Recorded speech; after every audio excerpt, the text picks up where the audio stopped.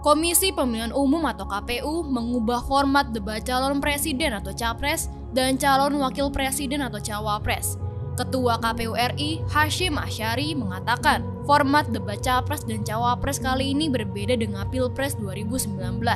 Di Pilpres 2019 terdapat lima kali debat capres cawapres yang digelar dengan komposisi satu kali debat khusus cawapres, lalu dua kali khusus capres dan dua kali dihadiri capres cawapres. Namun, pada Pilpres 2024, sesuai Undang-Undang Pemilu, ada tiga kali debat capres dan dua kali debat cawapres. Kemudian, cawapres turut mendampingi pasangannya saat debat capres, begitupun sebaliknya. Pengamat politik sekaligus direktur Lingkar Madani, Ray Rangkuti mengaku tidak tahu persis alasan KPU mengubah format debat capres-cawapres tersebut. Namun dengan desain seperti itu, Ray menduga ada pihak yang diuntungkan. Itu dia, bagian yang gelap. Saya nggak tahu, cuman desain begini ada yang diuntungkan. Mungkin, katanya kepada forum keadilan. Ray menilai, KPU seperti mengamburkan porsi debat capres-cawapres.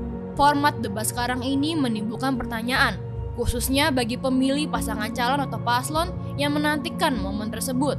Menurut Ray, masyarakat sekarang ini lebih antusias menunggu debat cawapres daripada capresnya. Dengan bergantinya format, KPU mengabaikan harapan dan tidak melihat peran urgensi debat cawapres tersebut. Ini kan menindak aspirasi masyarakat. Cuma orang sekarang nunggu cawapres tapi malah dilebur begitu. KPU seperti memberikan jarak dengan apa yang menjadi kehendak publik. Lanjut Ray. Menurutnya, cawapres merupakan aktor penting yang dapat meningkatkan suara paslon sehingga dengan memberikan kesempatan utuh bagi mereka untuk tampil menyampaikan visi misi menjadi cara untuk memikat pemilih. KPU penting mendengarkan keinginan masyarakat, sebab pada dasarnya pemilu itu pemilih. Maka KPU harus bisa memfasilitasi itu, ungkapnya. Ray berharap KPU bisa kembali mengevaluasi format debat capres-cawapres tersebut, sehingga tidak ada sangkaan bahwa KPU memihak kepada salah satu paslon.